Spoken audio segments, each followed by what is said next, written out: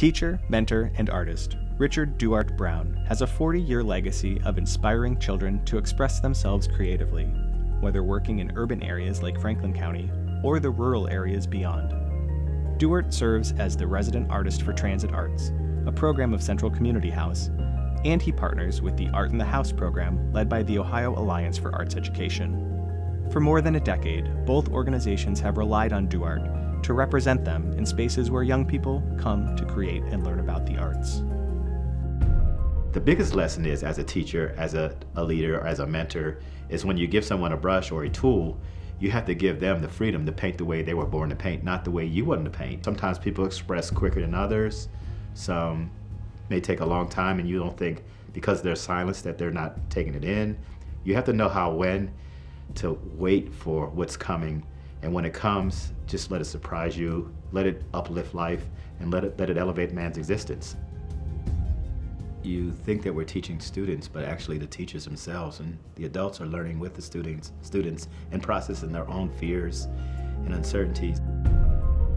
Caring, passionate, and dedicated, Duarte shares his talent generously, teaching students how to create meaningful visual art, all while mentoring them into their adulthood kids can recognize when somebody is honest and authentic. Kids can shut down in a classroom. The reason I took the way did is because I was one of the kids that pretty much died in the classroom because I didn't feel comfortable with Duarte. You can just talk to him. He'll say something that resonates with you and is so real and is so authentic that it gives you a chance to open up and share what you feel and share what you think, or you'll say, wow, well, this is what's going on with my father. This is what's going on with my mother. This is what happened in my neighborhood. You start to just open up and say, wow, I have a chance to really talk about who I am. And as we got inside this school, all of the children started to open up to Duarte, started to talk to him, started to come up to him because I saw that he used his art as a medium to connect. And then you add the vulnerability on top of that you have somebody that opens up a door for conversation. During the COVID 19 pandemic, Duarte took on a special project with the graduating class at Whitehall Yearling High School, giving the seniors a proper send off by painting 200 portraits and having them placed on the main street of Whitehall for all the city to see. The project garnered national media attention.